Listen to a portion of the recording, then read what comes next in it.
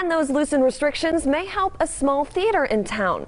Baobab Stage in Town Square hosted its very first production on Friday since the shutdown in March.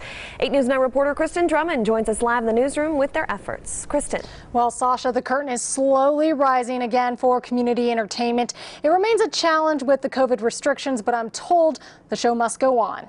I'm very grateful to be back on stage, actually. The spotlight shines again on Angelique Janowski. The former Cirque du Soleil Zumanity dancer tells me she's grateful to find work after nearly a year. I know that for a lot of artists, it's difficult.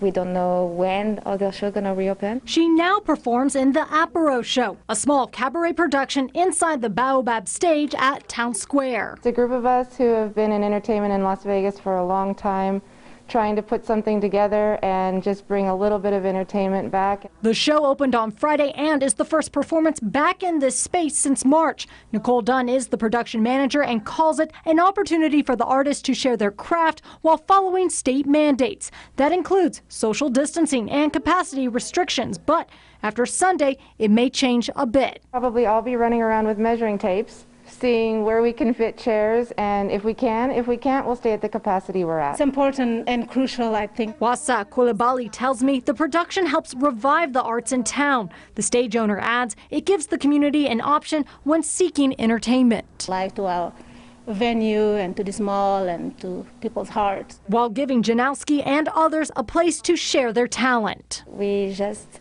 want to bring hope and joy Small theaters must consider social distancing, which is why lifting capacity restrictions may not help certain venues. Reporting live in the newsroom, Kristen Drummond, 8 News Now.